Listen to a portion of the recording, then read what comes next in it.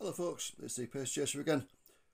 Welcome to one of my model reviews where we look at some of the older models that are available on the second hand market. And this one we've got two Mercedes minibuses to review. If this was a TV talent show we'd probably call it a Mercedes off but it's not a TV talent show so we won't. But I've got the EFE exclusive first editions Mercedes 709 with Reeve Burgess or Plaxton Beaver bodywork and I've got the Corgi Original Omnibus Company OOC Mercedes 814 Vario with Plaxton Beaver 2 bodywork to review. I've also got some toy minibuses to look at at the end which I'll uh, come to later on. So let's start with the EFE model. This one is catalogue number 24807 in East Yorkshire's Scarborough Skipper livery, released in July 1999 and this one represents vehicle 441 registration F441GAT. The uh, Beaver was introduced by Reeve Burgess in around 1987. Reeve Burgess was a subsidiary of Plaxton. Um, in the early 90s, Plaxton found that the main factory at Scarborough didn't have enough work, so they closed the Reeve Burgess factory at Pilsley near Chesterfield and moved production of the Beaver up to Scarborough, and it was rebranded the Plaxton Beaver. In the mid 90s, Mercedes replaced the chassis range that included the 709 with the Vario range, and Plaxton updated the bus body to uh, suit the new chassis and it became the Beaver 2. Both of these are still relevant um, nowadays. You still find a few of them in service with operators. They're not in normal um, passenger service anymore because of the disability access regulations. However, you can find them in use as coaches and private hire vehicles. Um, there's a couple of firms locally to me that still run the uh, Varios um, in a coach capacity. You can find them on rail replacements sometimes and things like that, and also as on private hire and I think there's still the odd firm that has a 709. So if you've got a, a fictional fleet, you could uh, certainly pick one of these up on the second-hand market and paint it up. And still, um, in 2024, as I do this, March 2024, you can still find a handful of these in service in fleets up and down the country. As I say, we're going to start with the EFE model, so we've got uh, waylaid there a little bit. So this one represents an East Yorkshire vehicle. As I said, um, East Yorkshire took over the Scarborough and Pickering depots of United Automobile Services in 1986 and set them up as the Scarborough and District subsidiary. The minibuses carried the East Yorkshire Little Bus Silver with uh, blue and red stripes, but with Scarborough Skipper fleet names rather than the East Yorkshire Little Bus ones found at the uh, other East Yorkshire depots. So this is in the Scarborough Skipper livery um, as a Scarborough allocated vehicle. So we'll start off with the front. As I always say in these reviews, the most important aspect of a model because most of them, whether they're in a display case or on a diorama or a layout, tend to be displayed with the front facing outwards. And the front on this one is generally pretty good. The only uh, fly in the ointment really, you could say, is the um, destination blind area. There's uh, no relief on the front of it. There should be um, sort of relief lines around the sides and along the top and bottom. And there isn't, it's just flat printed. Um, there's no, as I say, relief around the destination. And that does uh, spoil the look slightly. Makes it look a little bit too flat. Apart from that, the front's really good. The windscreen's the right shape and size. The bonnet, which is um, at first glance quite simple, but in actual fact is anything but. All sorts of uh, weird angles and curves and things nicely modelled. The grill is really well done on this EFE model as well. It's uh, it's not too heavy, it's not too light. The detailing is uh, just about right on it. You've got the Mercedes three-pointed star in pride of place there. If we come down to just below the uh, main grille, you can see as well the slightly awkward shape of the rail thing has been replicated. And the front bumper, complete with its air intakes at the bottom there, um, is modelled quite nicely as well. Go around towards the side, you've got the squared off wheel arch at the front there, not quite rounded, and the rather flimsy looking bumper um, of the real thing, again nicely modelled. Got the more rounded uh, rear wheel arch as well, slightly awkward shape of the bottom of the sides as well. The wheels are nicely done, nice representation of the real thing. The uh, window pillars on the EFE model are part of the main casting the uh, windows themselves are plastic inserts that give a flush glazed effect and look really, really good. But yeah, all nicely done. Go around the back again, lovely. The shape of it's uh, correct. There's a few chips on this one, as you can see. It's one I bought second hand, um, surprisingly. But yeah, you've got uh, the light clusters there, nicely done again. Bumper looks good. As I say, the window, the shape and size of it is about right. Go around to the offside. What looks like a, a tab to look at the window is actually a representation of the emergency exit handle.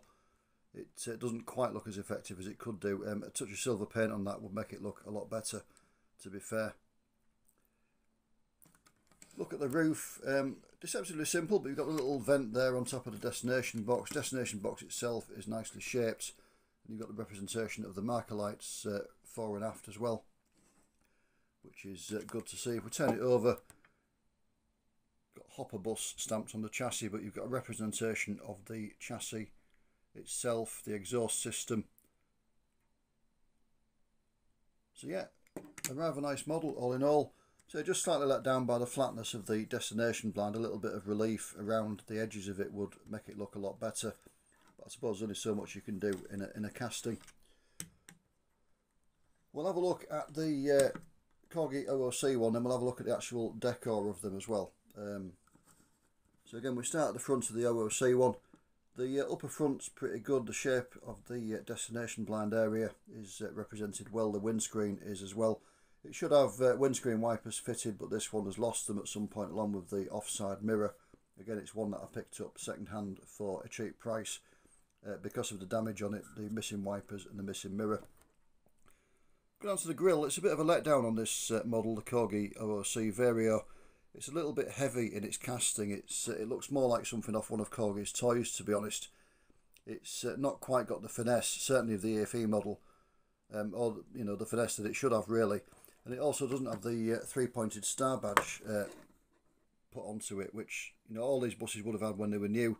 Some of them lost them during the service life. Some of them had them overpainted in the same colour as the grille, but uh, they all had them when they were new. And the fact that it's missing does make the grille look uh, quite plain.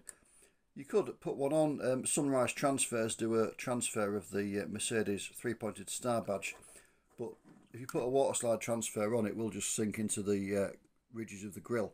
What you'd have to do is put um, a suitably sized piece of plastic painted black um, onto the grille, glue that on, and then put the transfer onto that. So yeah, the grille does let the uh, front down slightly. Otherwise than that, it's pretty decent. The uh, bonnet shape is about right. The bumper's nicely done. Again, you've got the representation of the air intakes on the bumper there. Move around to the side. The uh, front wheel on the Corgi one looks a bit strange. It's uh, a little bit too flat. The um, in the hub should stick out a little bit more than it does. And again, it does detract, along with that heavy grille, from the uh, frontal appearance of it. Uh, the doors part printed onto the, uh, the plastic glazing you can't really tell on this one because it's uh, modelled in uh, different colours. The door itself is white, but you've got the representation of the rubber seals around it in black, which give it a bit of relief and it makes it look a little bit better than the flat printed one. The door actually should be all black on this uh, vehicle, but you know that's a, a minor technical point.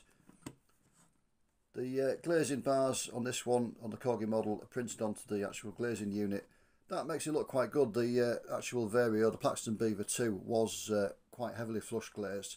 So if you'd done it as part of the casting, it would have looked uh, a bit strange. It looks about right uh, like this. And again, the slightly awkward shape of the bottom of the sides is nicely replicated. Go on to the back. Again, the shape's good. The uh, size of the back window and the shape of it is just about right. Light clusters look pretty reasonable maybe do with a slight bit of repainting. Looks slightly heavily painted, but uh, yeah, they're not too bad at all. And the rear bumper nicely represented. You have got the seam line there between the two parts of the casting, but that's got to go somewhere. The uh, roof comes off on this when you take it apart. Go around to the offside, again, quite nicely done. Um, this one has got chip paint because, again, it's one that I bought cheap. But, uh, yeah, I mean, normally that wouldn't be on it. The roof on the uh, Vario are quite plain, but it does have the uh, upslope at the front towards the destination area. It's very subtly done. It's not the uh, angled tr transition of the earlier Beaver body. But yeah, it is subtly modelled and it is actually present rather than just doing a flat roof, as some diecast manufacturers would have done. And if we flip it over again, you've got a representation of the chassis detailing on the underside there. So all in all, not a bad model, not quite as good as the uh, EFE one, Uh, what this one does have that the EFE one doesn't is the mirrors, or it should have anyway. But as you can see, they are quite vulnerable to damage. The offside one, as I say, is broken off, and the near side one is at quite a jaunty angle. Um, I didn't catch that too much. Interiors of them, um, EFE one modelled in one colour, uh, which in the case of this one is red, strangely enough. The uh, interiors of the real vehicles were grey, so a grey interior would have been far better. Um, they had grey floors, dark grey carpet on the seat backs and the sides, um, the, interior sides from the period when carpet went over everything apart from the floor on buses. They also had a grey based um, seat moquette with uh, coloured chevrons on it.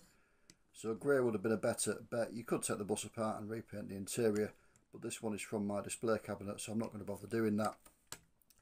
The OOC one has got um, most of the interior done in one colour, which in the case of this one is grey, which is correct. But it does have contrasting colour on the uh, handrails, as you can see, which are on a slightly strange um, sub-assembly that's on the inside. It does look quite effective though, looking through the windows. This one has got the pink grab poles that the uh, rail bus would have had.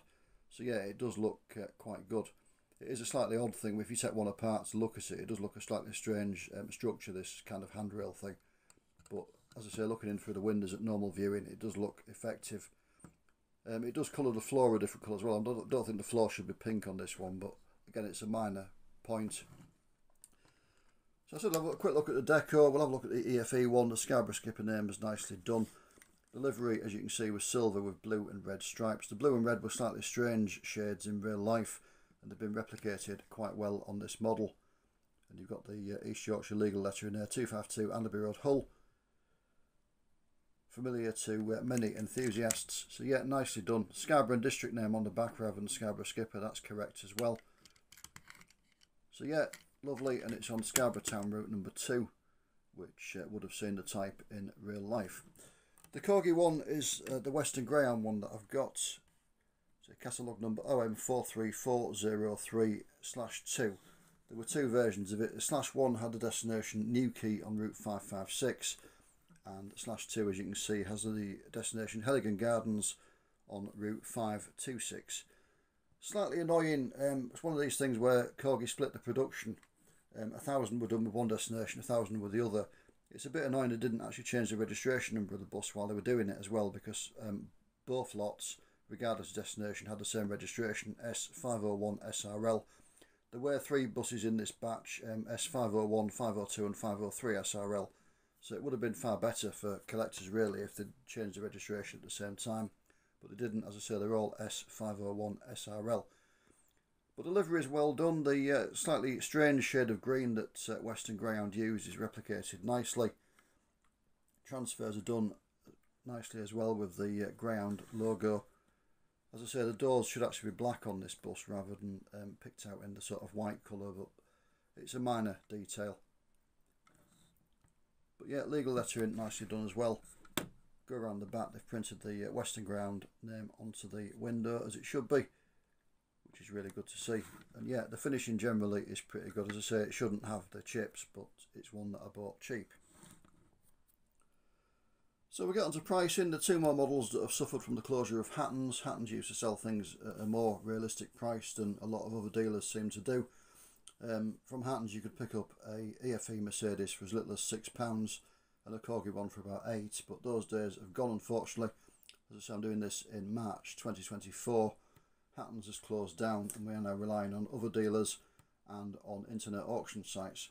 So a quick look at eBay earlier on today showed that the cheapest EFE model for sale was £8.50 um, with postage on top and the most expensive was £37.80 that was for the Arriva corporate liveried one um, certain liveries, particularly the big groups like Arriva, First, etc., tend to command higher prices.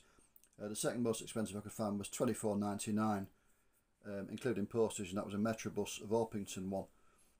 So uh, yeah, the East Yorkshire one tends to sit towards the higher end. Most of them, I mean, as I said, the cheapest was eight fifty. Most are somewhere around the thirteen to sixteen pound mark, and the East Yorkshire one does tend to sit somewhere between 16 and 20 pounds. They are slightly more collectible.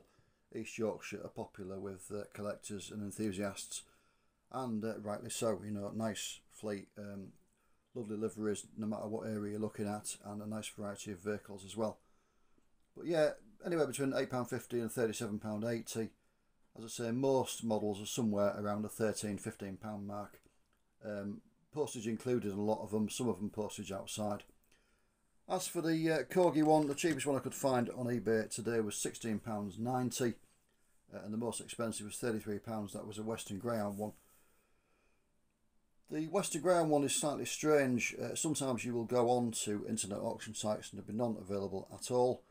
Other times you'll go on and people will be selling them for 65 and 70 pounds each, which is frankly ridiculous for a bus of that size. And then you'll go on again a little bit later on, a couple of weeks later, and people have them on for 15, 20 pounds.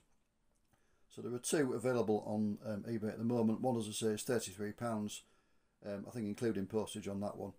And the other one was 22 pounds with postage on top, so about 27 all in. So that's what you're looking at. The Western Greyhound one is slightly more collectible than a lot of the models. But as I said, the cheapest Vario I could find uh, for sale today was £16.90 and that included postage. So that's your got sort of starting point now. Now I did mention I was going to look at a toy minibus as well while we're here looking at Mercedes minibuses. And it is this one, the Corgi Juniors uh, school bus, based seemingly on a Mercedes 608 from the 1980s. It's not quite to 4 millimetre scale, but it's not that far off, as you can see if I stand it alongside the 709. The 608 in real life was smaller than the 709, so it's not far off at all. Now it looks quite basic. Some of them have got um, black glazing units that you can't see through. Some of them have got this uh, tinted yellow version. But as you can see, the uh, grille is actually quite nicely done. Mercedes three-pointed star on there. The headlights modelled as well and we just swing it round. It is a toy. There's no getting away from that. Look at the roof, you've got the skylight modelled on there. To take it apart, what you need to do is to drill where that rivet is and just drill that out basically and then the chassis clips out. The uh, front headlights and grille are part of the chassis unit so they sort of go into there and there's a clip on the back so if you remove that rivet the chassis will come out. Now the reason I show this, these at the minute, um, I'm to look on eBay. The cheapest one I could find was £4 plus postage. Um, there's some about a fiver, including postage. Actually, the, the postage on the £4 one wasn't that much.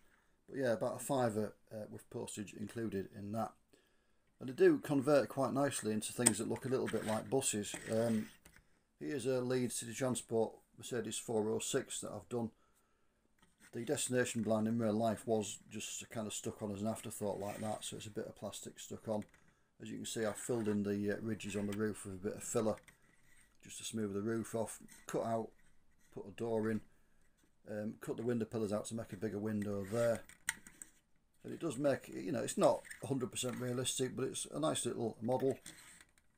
I've also got one that I've converted to open top to kind of represent the East Yorkshire one that they did convert to open top the 608 and again I've put a door in. It's not brilliant but they're just a little bit of fun. Something a bit cheaper than the actual die-cast models. And you can just have a bit of a blowout on them you know a bit, a bit of fun in the workshop. And where's the harm in that so I just thought I'd show you those just at the end and we'll line them all up just for the end shot and there we go